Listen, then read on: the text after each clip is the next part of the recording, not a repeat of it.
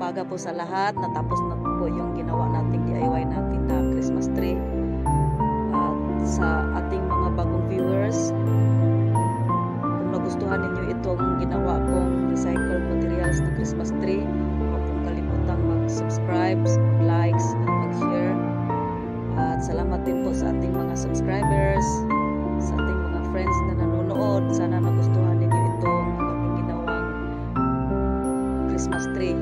Ito pang lagay lang ito sa table.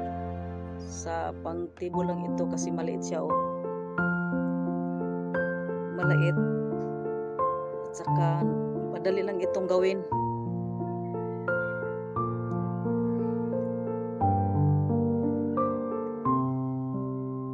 Hindi kasi hindi masyadong makita yung ilaw kasi may ilaw akong ginagpailaw ako you viewers, sa aming mga subscribers. Bye-bye.